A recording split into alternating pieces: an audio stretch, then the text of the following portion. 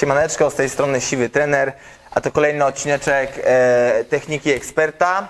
Dziś moim ekspertem jest Krzysiu Chudecki, pokaże nam fajną akcyjkę bokserską. Zaczynamy. Dzień dobry. Z tego względu, że jestem leworęczny, łatwiej mi jest dojść do wątroby, która znajduje się tutaj. Tutaj jest śledziona, tu jest wątroba, tu jest przepona. Bawiąc uczę, ucząc bawię. Lekcja biologii. Lekcja biologii.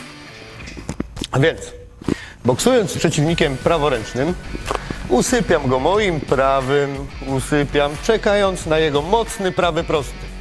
Biję, robię lekkie zejście, uderzam prawy, lewy hak, powtarzam drugi lewy hak.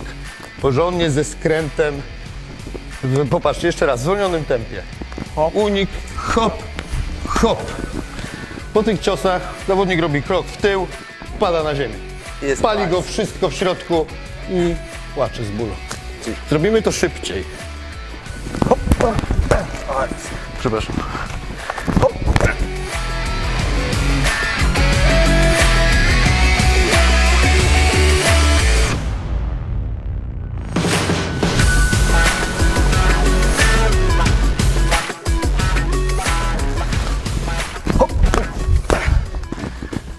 Dziękuję.